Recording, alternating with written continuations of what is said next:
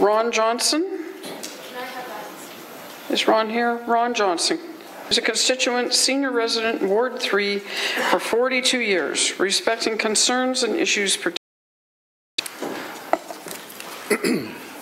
Um, in addition to those credentials, I um, worked most of my life in, uh, in, with people with disabilities, and lately Anything with two rails. So I've studied uh, trains and cars and uh, trolleys and so forth uh, for many years. Anyway, I'm, I'm not against uh, the LRT or public transit, but I am against any sort of uh, government spending that does not meet transit proposal has many flaws when compared to comparable systems. I've ridden on the following LRTs, and each has its own approach uh, uh, to, uh, to the design challenges. Uh, Cincinnati, Portland, St. Louis, Sacramento, Scarborough, Cleveland, Buffalo, Bordeaux, France, and Milan, Italy. Hamilton does not succeed in its attempt to be a high-speed rail because the terrain doesn't really permit it. The streets, which effectively move auto and truck traffic, have been co-opted by the LRT forces, leaving future drivers to fend for themselves. In St. Louis, planners managed to achieve a high-velocity train service with no interference to vehicle traffic whatsoever that I can locate.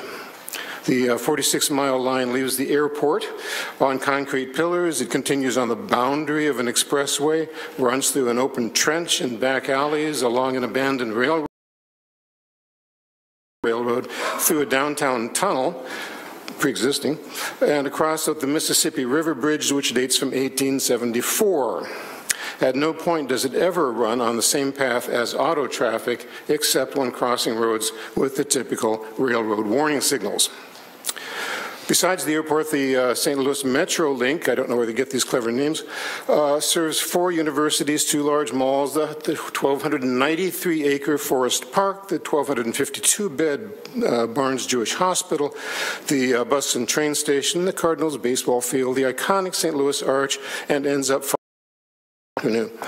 uh, discounting the size of the community, the, in the comparison here between the communities, it would be impossible to design a system that would be efficiently connects a similar list of Hamilton destinations in, in a single line, ascending the mountain. The uh, Portland LRT also parallels runs at highway speeds. When it reaches downtown, However, it changes roles and becomes a streetcar service, stopping every few blocks. A single track hugs the right lane, the right curbs, and the rails are flat, allowing buses, delivery vehicles, and autos to use the concrete road surfaces as well. Um, boarding areas are simply a slightly raised portion on the curb. The tracks in the opposite direction are one block over. Um, the, these uh, types of designs seem to be rejected by Metrolinx out of hand, and, and uh, uh, the, the results are not as desirable. The newly completed Cincinnati LRT uses the same design as Portland, uh, and so I presume it's state of the art. The Hamilton proposal offers very few opportunities to be rapid. Traffic moves faster with a private vehicle and the current one-way street system. Hamilton's intensification and traffic patterns are much better suited to building a streetcar line, a streetcar line rather than an LRT, providing local service. However, you must access the train on a center platform that rises above the street. The design blocks any other vehicle accessing the street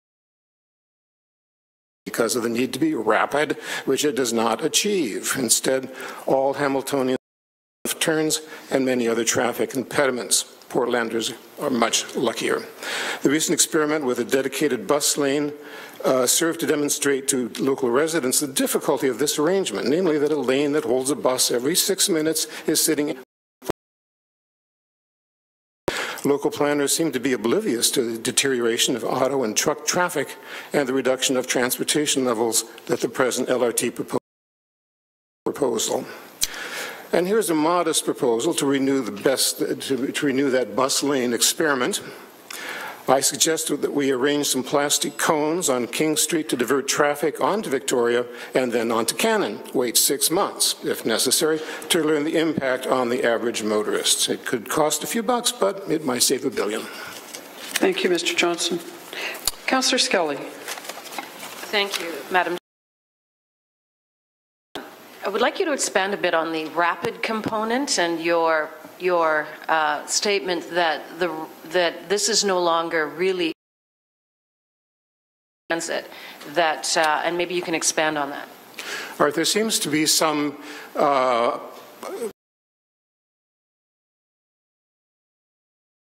whereas an LRT is wonderful. In reality, it has to be um, designed for whatever is available. Now, um, in Hamilton, the whole route is very urbanized, and there are very few opportunities, I don't think there are any opportunities to speed that up.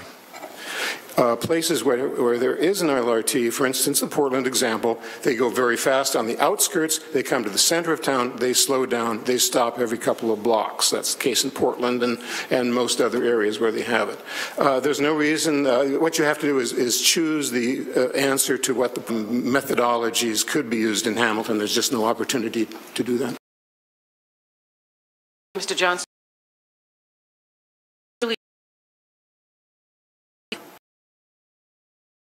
Rapid transit, would it have best then the, route be from the suburbs, uh, these things move much more quickly.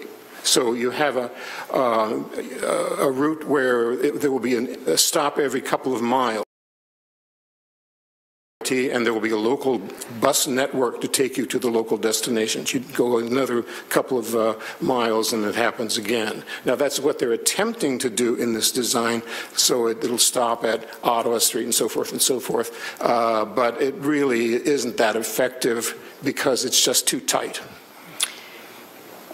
Thank you for that. Um, would you, and, and, you use the term trolley, is that how you would then describe what we, we have before us? Uh, well, whatever you term you want, a streetcar. Now, the term LRT, um, from what I read, gets bandied about quite a bit. People want to say they have an LRT because that's a point of pride. They don't want to say they have a streetcar because that's so old fashioned.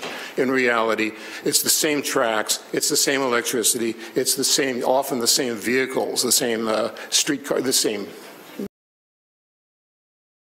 thing, they, they all look the same. It's, it's just a matter of what your needs are locally. Thank you.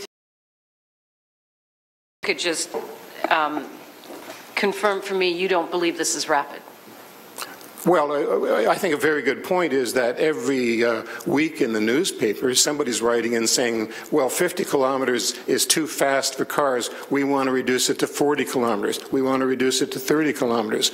Well, I don't see anybody getting on the idea that they want to have a 50 kilometer uh, LRT running down through the middle of town or an 80 kilometer LRT. Uh, that, that's equally as dangerous, if not more so, than having cars around going to be putting up with city streets uh, in those dangerous circumstances. Thank you. I have no further speakers, so I thank you for your presentation.